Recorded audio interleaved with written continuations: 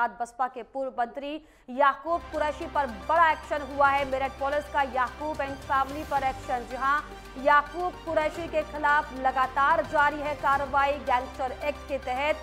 आठ वाहन जब्त किए गए हैं। इसके अलावा 31 करोड़ की संपत्ति को भी कुर्क कर चुकी है पुलिस। तो बड़ी खबर आपको बता रहे हैं, बड़ी जानकारी। हालाँकि इसके पहले भी कई बार याकूब एंड फैमिली के तमाम जो भी अलग अलग जगह पर ठिकानों पर जो संपत्तियाँ थी, उन्हें जब्त किया गया था। और अब एक बार फिर से याकूब कुरैशी के खिलाफ जो है कार्रवाई की गई है। गैंगस्टर एक्ट के तहत आठ वाहन सीज किए गए हैं। इकतीस करोड़ की संपत्ति भी पुलिस कुर्क कर चुकी है। तो बड़ी और अहम जानकारी आपको बता रहे हैं, पूर्व मंत्री रह चुके हैं। और ऐसे में साफ़ तौर पर यह बड़ी कार्रवाई की गई है, जिसमें बसपा के पूर्व मंत्री याकूब कुरैशी पर पुलिस का बड़ा एक्शन सामने आया है। मेरठ पुलिस ने आपको बताया कि ये बड़ी कार्रवाई की है। मेरठ पुलिस का याकूब एंड फैमिली पर एक्शन जो है वो लगातार जारी है।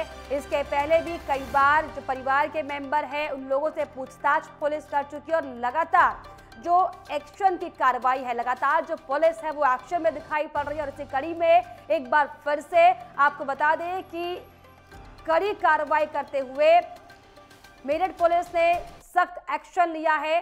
और मेरठ पुलिस ने आपको बताया कि कई करोड़ की संपत्ति जो है वो अब तक जब्त की जा चुकी है।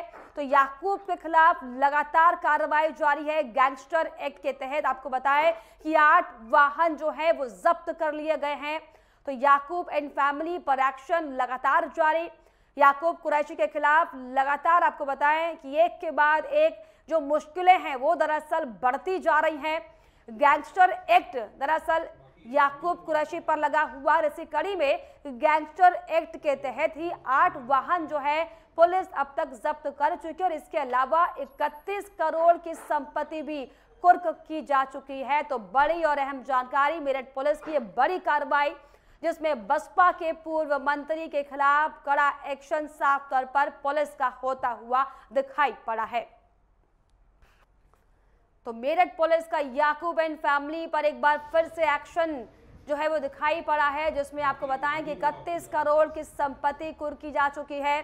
बसपा के पूर्व विधायक, पूर्व मंत्री याकूब पर एक बार फिर से जो है पुलिस का शिकंजा कसा है और इसी कड़ी में गैंगस्टर एक्ट के तहत आठ वाहन सीज किए जा चुके हैं। इकतीस करोड़ की संपत्ति जो है वो अब पुलिस अब तक कुर्क कर चुकी है। तो मेरठ से ये बड़ी जानकारी आपको दे रहे हैं उत्तर प्रदेश के मेरठ से, जहाँ पर याकूब एंड फैमिली की मुश्किलें लगातार बढ़ती हुई दिखाई पड़ रही हैं। हालाँकि तमाम बचने की कोशिश भले ही की जा रही हो, लेकिन साफ़ तौर पर जो पुलिस का डंडा है, वो याकूब एंड फैमिली के खिलाफ चल रहा है और इसी कड़ी में ये बड़ी कार्रवाई।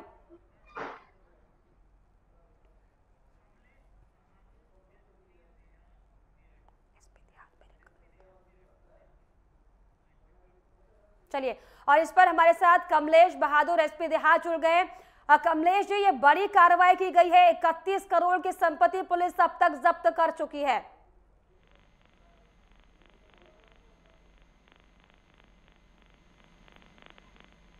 कमलेश जी आपको मेरी आवाज़ मिल पा रही है? हाँ आवाज़ आ रही है बताइए। जी आ, सर बड़ी कार्रवाई हालाँकि लगातार जारी और इसी कड़ी में एक बार फिर से बड़ा एक्शन पुलिस का सामने आया है। ये याकूब कुरेशी के खिलाफ जो गैंगस्टर एक्ट में चौदह हाँ। एक के अंतर्गत कार्रवाई की जा रही है इसमें इनके विरुद्ध इकतीस करोड़ की लगभग संपत्ति जब्त की जा चुकी है हम्म। कि बत्तीस लग्जरी गाड़ियाँ हैं जिसमें से आठ गाड़ियों को जब्त किया गया है शेष गाड़ियों को शीघ्र ही जब्त करके इस कार्रवाई को पूरा किया जाएगा हम्म।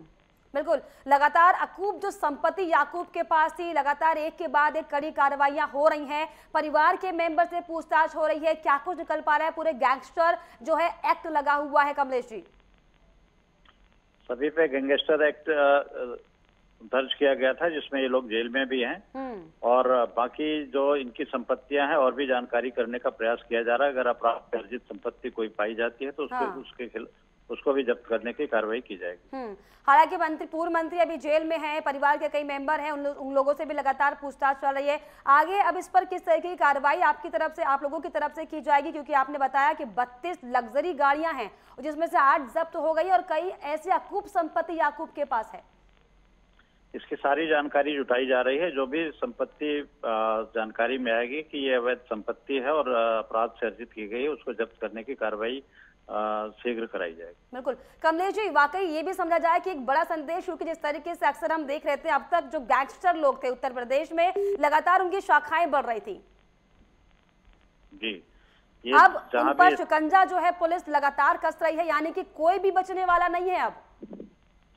ये जो भी गैंगस्टर्स हैं जो जो भी इस तरह के अपराधों में लिप्त हैं जिनके हम्म। खिलाफ इस तरह के मुकदमे हैं उनको चिन्हित किया गया है और उन पर कार्रवाई लगातार जारी है और ये जो भी इस तरह की कार्रवाई में संलिप्त है और अपराध से अर्जित संपत्तियाँ हैं उन पर गैंगस्टर के तहत कार्रवाई करके जब्तीकरण की कार्रवाई प्रचलित है और आगे भी जारी रहेगी। हम्म, बिल्कुल। जिस तरीके से इकतीस करोड़ की संपत्ति अब तक कुर्क कर चुकी है पुलिस और ऐसे में ये भी है कि कई संपत्ति है जो याकूब की बची हुई है। ऐसे में हालाँकि पुलिस जो है मेरठ पुलिस लगातार पूरी तत्परता के साथ इस पर कार्रवाई कर रही है। ऐसे में अब आगे और कौन कौन सी नई कार्रवाइयाँ हैं जो होनी है? क्योंकि हालाँकि जो शिकंजा है वो तो आप लोगों की तरफ़ से कसा हुआ है लेकिन कई अकूत संपत्ति की हम बात करेंगे उसको लेकर अगर आपको जानकारी दे पाए तो।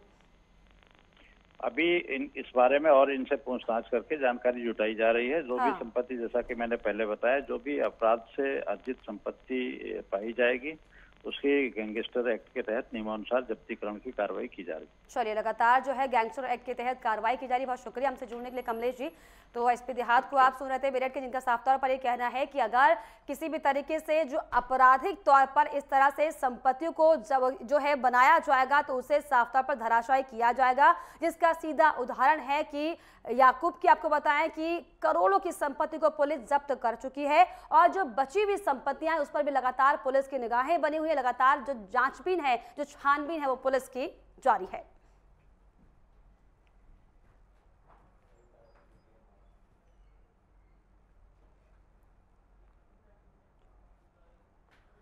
तो मेरठ पुलिस का याकूब एंड फैमिली पर यह बड़ा एक्शन साफ़ तौर पर सामने आया, जिसमें बसपा के पूर्व मंत्री याकूब कुरैशी के खिलाफ एक बार फिर से ये बड़ा एक्शन मेरठ के पुलिस ने किया है, जिसमें करोड़ों की संपत्ति को जब्त किया गया है। आपको बताएँ कि कई लग्जरी वाहन जो है याकूब के पास है, जिसमें से आठ वाहनों को जब्त कर लिया गया है और अन्य जो वाहन है, उनको भी लेकर लगातार जो पुलिस है, वो जांचबीन कर रही है। और जो भी फैमिली मेंबर्स हैं, जितने भी संपर्क में याकूब के लोग हैं, उन तमाम लोगों से पूछताछ की जा रही है।